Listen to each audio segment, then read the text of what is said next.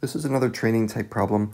We're not yet at the point where you can graph these things on your own, but I, I want to keep looking at this graphing window right here. This dotted line that I've drawn around one complete cycle of this uh, sine or cosine function, whichever it is. Uh, oh, this one's actually a sine function. Okay, and I have the equation up here, and we're going to fill in where those key points land for this function, and then we're going to talk about uh, some of those key features like amplitude, midline, uh, period, and so on.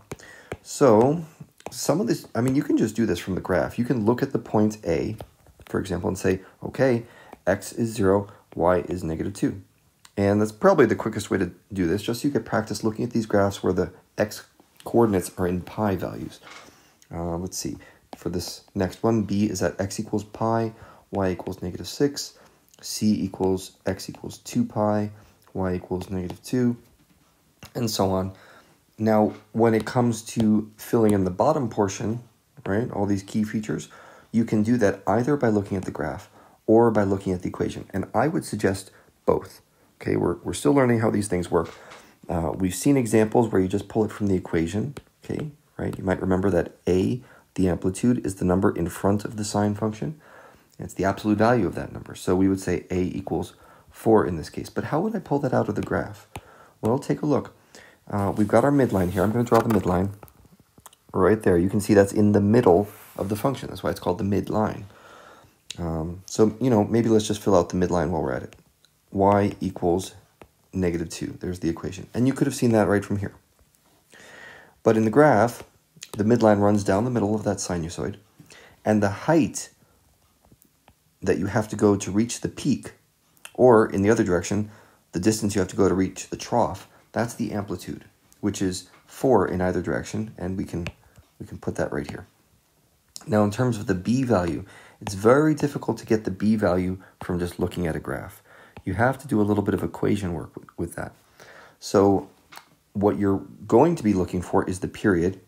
Once we know the period, we'll get to the b value. So first, I really want to talk about the period of this function, and that's not obvious from the equation.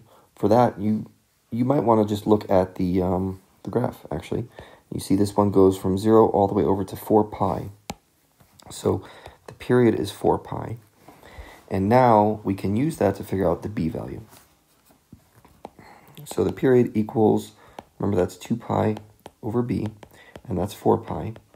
So solve it for b. That gives us 2 pi equals 4 pi times b. Divide each side by 4 pi, and you get this 2 pi over 4 pi on the left equals b. Now 2 pi over 4 pi is just 1 half. So this is how you would graphically figure out what b is without looking at the equation. But if you were just looking at the equation, well, um, b is obvious, right? b is just the number that's multiplied by x. So if you're looking at an equation, b is easy. If you're looking at a graph, period is easy. And each one of those can you lead you to the other one. Now, this last part, phase shift, we haven't really talked about phase shift yet. Okay, we haven't gotten into that. And you can find this either from the equation form or from the graph form. For now, I'll just point out that the phase shift is whatever position your graph window starts at. So you see this square, this dotted square I have around the function? It starts at y equals 0. So I would say my phase shift equals 0. And we'll get into some examples of non-zero phase shifts in a little bit. Uh, that'll be later.